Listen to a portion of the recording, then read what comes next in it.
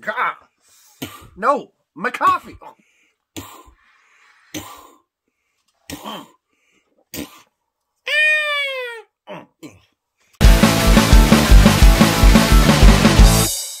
This is our 300th Yes. oh my God. Movies review. Our 300th review was Attack of the Giant Blurry Way to celebrate. Yay. So glad we do this. yeah, 300. We've been going at this for 300 movies. Welcome to Stoopid Movies where we watch them so you don't have to. That is right. And this week we watched we watched Attack of the Giant Blurry Finger. yeah.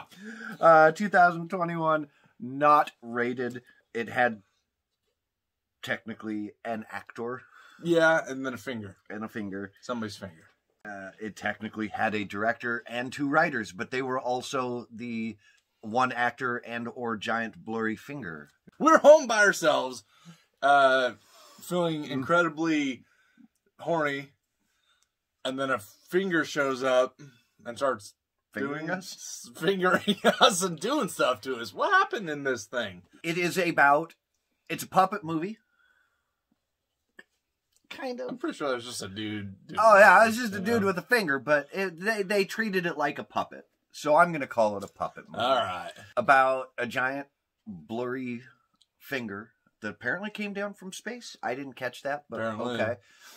and breaks into this woman's house and they beat each other up and then start having sex and then it turns into a bad relationship and they go back to beating each other up and the end Well, uh, we uh, fingers. We, uh, we like. Rob likes getting fingered. What else do we like? No. I was very impressed with, especially considering it was probably zero budget, how they pulled off the interaction between the girl and the finger.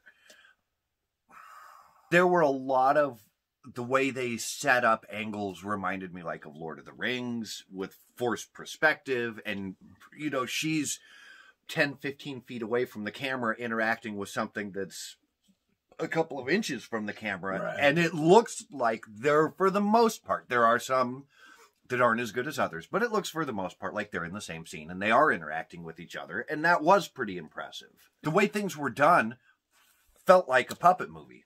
I will give it that it was different. it's very different. It was unique. i've never seen a movie like this before. No, I, I mean, very strange, and it it was strange, and it, it I mean, it was strange, it was very strange and I like strange. you do like strange I do. this is about i mean this is it's porn Basically, This is almost a porn. This is a softcore boyfriend and girlfriend amateur porn. And I like that. I thought it was kind of strange how it didn't really show any actual nudity until I thought Until the end. That was very weird. There's Very a weird. lot of implied nudity throughout the whole movie with a giant blurry finger covering all of it. And it's not until the very end of the movie that there's any nudity. yeah, it's very odd. but it's full on in your face once you get there. I like it. I thought, considering the lack of dialogue, I thought they did a very, very good job setting up this relationship between the girl and the giant blurry finger. There was a lot through. It's the old show don't tell.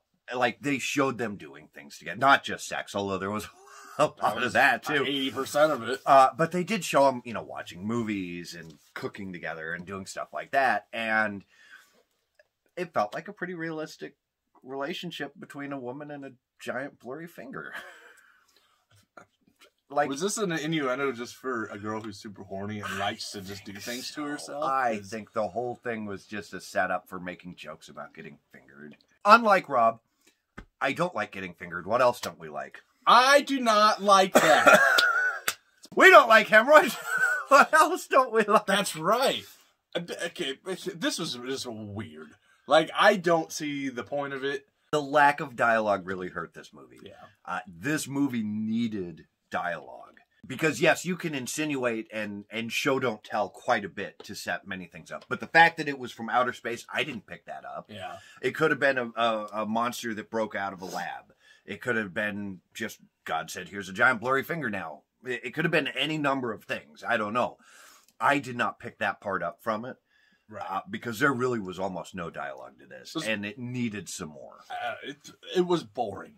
It was very slow, and the lack of dialogue does not help that.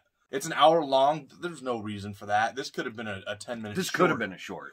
Yeah, and that would have been fine. That would have been highly amusing. But to go on with, it was basically a rinse repeat kind of situation.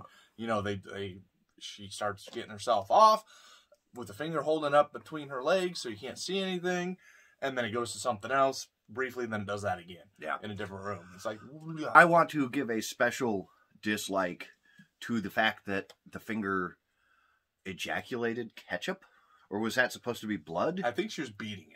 Like it was supposed to be blood, Okay, and it was ketchup, and it looked awful. it, it looked like ketchup. but it looked bad. It just I was like, oh, you couldn't even got fake blood. I mean, you can go to Spirit Halloween get fake blood for like five bucks. You, you had so little when it came to special effects. I feel like you could have gotten The- the- yeah. halfway decent fake blood. the biggest special effect was doing this. I don't know what else to say about this. It's a tough movie There's- to talk about because there's not much there. There's nothing there aside from the finger and a girl, and it's just I, I just this was not my cup of tea. I will just say that Why don't we wrap it up? Tell us your final thoughts, man. this was absurd and ridiculous. I don't understand uh, why. I, I, I, I didn't like it. I'll, I'll be honest. I thought it was different, kind of unique. Which you know, for the first ten minutes, I'm like, oh, okay, this could be kind of funny. But then it just kept going on and on and on, uh, as if you know the finger couldn't do its job, and you know that gets frustrating. Uh, For creativeness and some kind of funny what the hell stuff, I'll, I'll, give it one and a half out of eight.